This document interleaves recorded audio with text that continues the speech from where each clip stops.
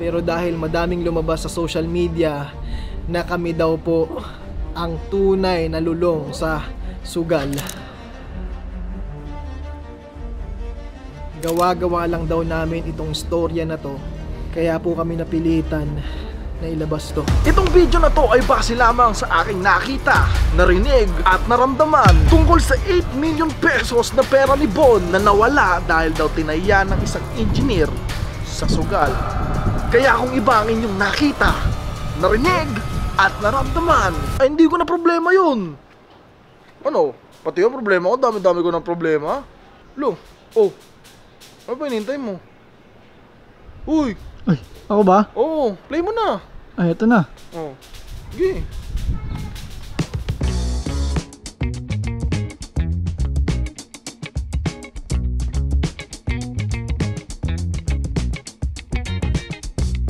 Hoy, oras ng trabaho, bilisan mo. 30 minutes na lang, magbe-break time na. Bilisan mo dyan. Kailangan mahukay na natin yan, ha? Ay. Uy, engineer. Hoy, Bon. Kamusta ang progress? Ah, ito, 30% na. 30% na. Di ba sabi ko sa'yo, gugulatin kita? Mga ilang araw na lang buhos na yan. Eh, yung design. Nakaayon lahat sa plano. Ito, What is Uy, that? Opal do ah. Kala, libangan lang Ah, libangan. Libangan, hindi libangan yan, yan yan.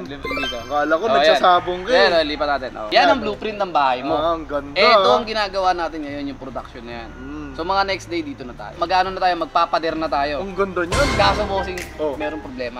Kailangan natin ng budget. Magkano kailangan? 8 million. Ngayon kabuuan kasi magtatayo na tayo ng mga bakod. Ah. So kailangan ko na ng pabuong bayad na 8 million. Okay, sige. Send ko lang Gcash ha. Oh, Thank mo you, sa thank akin. you. Oh, ayusin ko lang muna to. Tuloy ko muna to.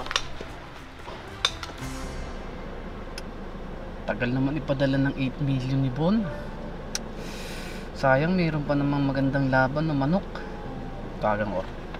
Pagkatapos ng bahay ko, mas malaki bahay ko dyan. Uy!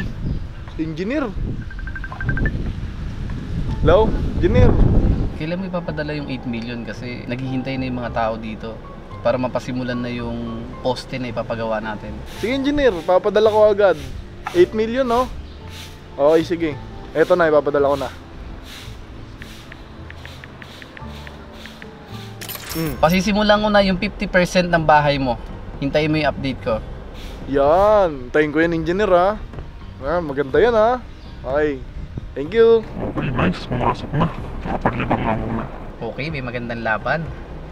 Paunang taya muna natin to. Baka buwenasin tayo. 200,000. Paluin mo! Paluin mo! Talo! 200,000 yung tinaya ko. Paano ko ito mababawi? Isa pa.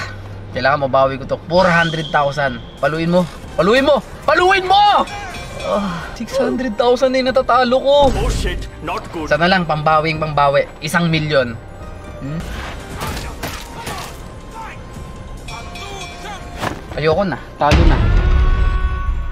Di. Sige, isa pa. Sige, all in. Ayan. All in. All in to pare.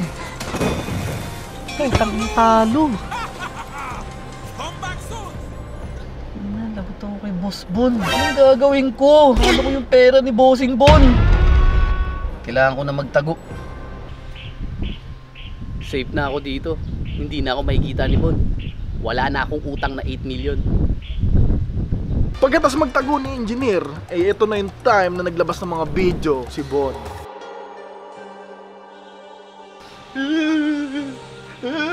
Yung 8 million ko. Ah, nawala.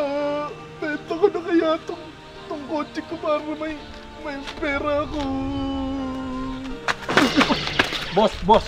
Boss, ito. Oh, ano yan? Ito boss, Ano yan? may nakita ako chismis. Ano yan? Ano yan? Nag-post yung pinaka sikat na scammer dito sa Pilipinas. Nag-post? Pati, Oo, nag-post, oh. Patingin na, patingin.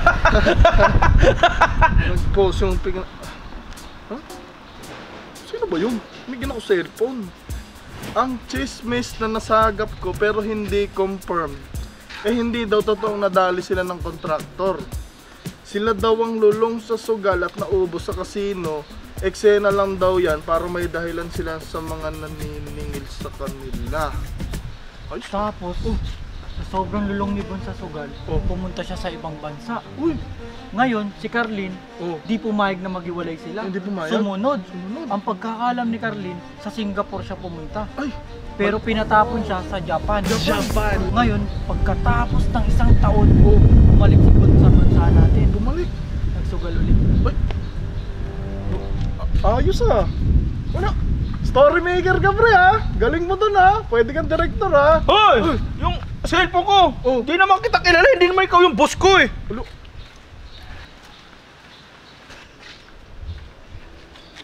Uy na nga ako. Ah. Uy. Safe na safe yung tago ko dito. Wala nakakita sa akin ah. Okay, tago na ako ulit. Ah, baby ko, ang pogi-pogi ng baby ko. Basbon, Uy! Uy, May nag-post na naman oh. may nag-post na naman. Ayun oh. Grabe naman ang kwento. Oh, lalabas lang ng, ano ba yan? Lalabas lang ng baby ko kung ano post-post. Baby boy ko to eh. Baby boy. Ay! Walang betlog. Walang iya ka. Baby girl ka pala. Baby girl. Ano ba to? Nag-post na to. Wala naman to eh. Bakit yung ebidensya mukha ko lang? Walang ebidensya. Maglabas ka ebidensya. Puro ka type eh. Wala namang ebidensya. Kinrap mo lang yung picture ko. Ano ba yan? Tara na nga baby girl. Walang niya ka baby girl ka pala. Akala ko baby boy ka.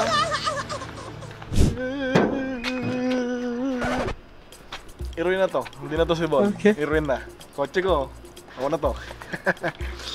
so ngayon guys, alam nyo na kung ano yung nakita, narinig at naramdaman ko. Kayo na lang bahalang maniwala kung maniniwala ba kayo dun sa nagtatago sa ibang bansa o dun sa taong nakita, narinig at naramdaman ang lahat.